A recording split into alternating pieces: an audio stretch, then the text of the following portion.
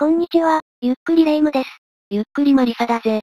今回は、最も凄惨なモータースポーツ事故の一つ、ヘルムート・コイニクの1974年 F1、アメリカグランプリ事故について解説するぜ。このチャンネルではできる限り、3D の再現 VTR を使って、当時の状況をわかりやすくお伝えしています。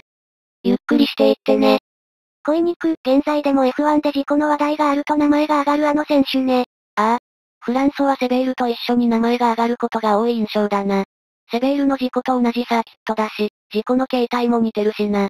順を追って説明していくぜ。頼むわね。恋肉は1948年11月3日、オーストリアの首都、ウィーンで生まれた。両親は薬剤師で裕福な家庭だった。幼少期はシュタイアーマルク州の山間部で過ごし、暇さえあればスキーをしていた。スピードが出る競技は何でも好きだったようだ。スキーでは大会にも出場し、ジュニアスキーのオーストリア代表に選抜されるほどの腕前だった。運動神経抜群だったのね。ウィンタースポーツといえばあの選手もすごかったわね。えっと、ジル・ビルヌーブ選手。スノーモービル選手だったな。優勝賞金で生活してたしかなり本気だったな、ビルヌーブは。詳細は別動画を見てほしいぜ。恋肉は18歳になるとスウェーデンに移住。詳細は不明だが、そこで就職しレースとは無関係な生活をしていた。レーサーになりたい気持ちはあったようだがレースは危険だ。不良の趣味だと両親が大反対したようだ。レ、レーサーあるあるね。大体の両親は反対するわよね。そこでへこたれないのも成功するレーサーあるあるだな。当時無名だったニキラウダからミニクーパー S を譲り受けると、大小様々なレースに出場。腕を磨いた。ラウダさんから買った車とかありがたみありすぎる。頭角を表したのは1969年、21歳の時だ。ヨーロッパツーリングカー選手権で10位。ラ、ラウダ様のミニクーパー行ってる。その走りを見たのがヘルムート・マルコだ。マルコはフォーミュラ B という入門クラスのチームを運営し、自身も1968年には選手としてチャンピオンを獲得していた。フォーミュラ B はかつてにキラウダやエマーソン・フィッチパルディも戦ったレースだ。ここで活躍することがトップフォーミュラへの確かな道だった。恋肉はマルコの誘いで初めてフォーミュラカーに乗りテスト走行を行う。入団テストだった。恋肉はマルコより早いタイムを出しチームへの入団はすぐ決まった。初走行で？すごい、スキーで鍛えたおかげかしら？フォーミュラ B のデビューレースはニョルブルクリンク。これはマシントラブルでリタイア。初優勝は地元オーストリア、セルトベイク空軍基地のレースだった。その後もチームを転々としフォーミュラ B での活動は続く。1971年はヨッヘンマスを破って総合3位。1972年、総合2位。1973年、とうとう総合優勝した。おめでとう。でも入門クラスなのよねなかなかステップアップできなかったの？ああ。恋肉は上位クラスへの足がかりを模索していた。フォーミュラフォードや、B の上位クラスであるフォーミュラスーパー B に出場したこともある。そこでの入賞もあったが上位チームから声がかかることはなかった。恋肉は1972年頃から世界耐久選手権にも挑戦した。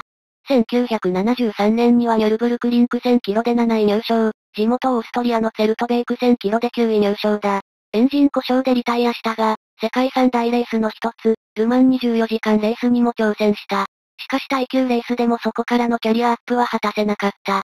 1974年、いよいよ恋肉は賭けに出る。サーティースの TS10 を自費で購入した。型遅れのマシンだが恋肉が出せる限界だった。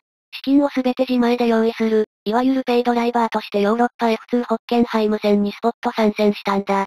1974年4月7日のことだった。何度も F2 選手権に出る資金はない。見せ場が作れるか、一発勝負だった。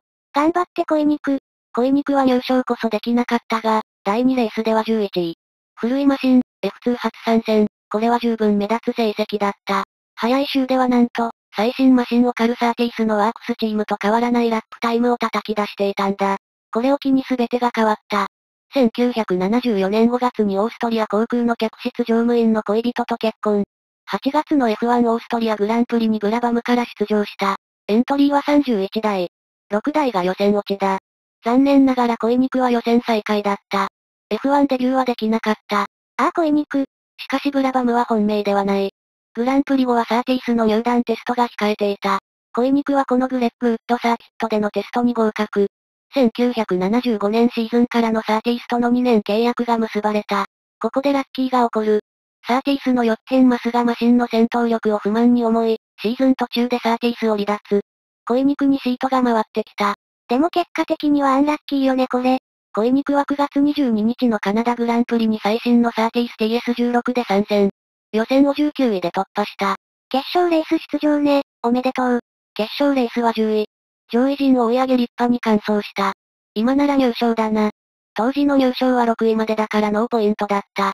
なおヨッヘンマスはサーティースで10戦出場し、完走はたった2回で最高が14位だ。マシンは確かに弱いがいきなりヨッヘンマス以上の成績を出したわけだ。そしていよいよ1974年シーズンの最終戦、アメリカグランプリを迎える。昨年のオイルショックでモータースポーツ界は廃止論が出たりしてかなり揺れていたが、なんとかここまで来たな。会場はワトキンスグレンサーキット。山中にあり高低差が大きく、路面には砂ぼこりがよく入るワイルドなサーキットだ。グランプリ開催の2週間前、グランプリドライバーズ協会の会長で自身も選手として出走するデニス・ハルムはコースを視察。コースとガードレールが近く、危険性が高いポイントがいくつかあったため、コース管理者へ警告したという。どこだったのかしら？もしかしたら、この時に対策していれば。なお今シーズンは例を見ない接戦だった。まだワールドチャンピオンは確定しておらず、この最終戦の時点で3名の選手に優勝の可能性があった。マクラーレンのエマーソン・フィッチパルディとフェラーリのクレイレガツォーニが52ポイントで首位。続くティレルのジョディ・シェクターが45ポイントだ。この頃は優勝すると9ポイント、2位が6ポイント、以下4ポイントから1ポイントが得られる。なおレガツォーにはここまでの14戦で1勝しかしていない。変わる変わる優勝者が現れる混戦だった。1勝でも優勝争いに入れちゃうなんて。最も光っていたのはワールドチャンピオン争いから外れたニキラウダだろう。フェラーリ1年目。ここまででポールポジションをなんと9回獲得していた。圧倒的な速さを見せつけたがマシンに安定性がなくリタイアが多かった。あとこの最終戦に燃えていた男がもう一人、パルネリ・ジョーンズのマリオ・アンドレッティだ。この F1 アメリカグランプリ、まだアメリカ人は優勝していなかった。アンドレッティは昨年は6位。今度こそ初優勝したかったんだ。アンドレッティにはもう一つ勝ちたい理由があった。今シーズン初め、アメリカ人 F1 ドライバーのピーター・レブソンがレース中の事故で他界しているんだ。アンドレッティはレブソンに勝利を届けたかった。うーん、恋肉に勝ってほしいと思ってたけどアンドレッティもかなり背負って臨んでたのね。1974年10月5日の予選、暫定ポールポジションはそのマリオ・アンドレッティだった。観客はほとんどアメリカ人だ。会場は最高に湧いた。しかし予選残り10分でライバルが力走を見せる。結局ポールポジションはカルロス・ロイテマン。アンドレッティは3番手につけた。恋肉は30代中、23番手だ。26番手以降は予選で脱落となってしまう。あまり喜べない順位だが、とにかく予選は突破できた。そして10月6日。決勝レースだ。10万5千人の観客が来場した。天候は晴れていた。いよいよ始まってしまうのね。59周のレースがスタート。いきなりトラブルが発生した。アンドレッティがスタートできず、ピットに戻される。どうやら伝送系のトラブルだったようだ。実はアンドレッティは予選の最後でマシンを中破させていて、メカニックは夜通しかけてマシンを直していた。急いで行ったその修理に漏れがあったのかもしれない。パルネリ・ジョーンズのチームはなかなかマシンを指導できない。やむなく押しかけでエンジンを始動。アンドレッティは2周遅れでレースに復帰した。アンドレッティ、頑張って。しかし復帰後、4周ほど走ってアンドレッティにレース失格を示す黒旗が振られる。ピットクルーがマシンを押してエンジンを始動するのは違反だったんだ。ああ黒旗なんて、アンドレッティ。実はアメリカ人ドライバーはもう一人いた。マーク・ダナヒューだ。彼も途中リタイアで終わった。レースはポールシッターのカルロス・ロイテマンが先導した。レース7周目、ジャッキー・イクスがクラッシュ。破片の一部はコースに残ってしまったようだ。そして10周目のことだ。恋肉は順位を上げ21番手を走っていた。ターン5の大きな右カーブを曲がる。わずかに直線がある。次がターン6、シュートカーブという名のきつい左コーナーだ。恋肉はここで操縦不能となる。後から話すが、はっきりした原因は不明だ。カーブを曲がりきれず、直進。コースに出入りするためガードレールが二重になっている。一つ目のガードレールを破って止まった。ガードレールを突き破るなんて、恋肉選手、無事なのかしら？恋肉は無事ではなかった。ここは中途カーブ手前のさっきの直線。少し遅めに進める。ここはそもそもコースアウトの多い場所だった。まさかガードレールを突き破るとは思われていなかったようだ。しかもこの時、あまり速度は出ていなかった。時速120キロでコースアウトする。芝生に入ってやや減速される。金網のキャッチフェンスを突き破る。三段ガードレールの一番下を突き破る。恋肉は中段のガードレールで、マシンもろとも首から上を切断されてしまった。そして次のガードレールに衝突し、停止。く、首を、なんて悲惨な事故なの。なおサーティースのチームはもう一人、ホセドルヘムが走っていたがそれどころではない。チームは棄権した。しかしレースは続行された。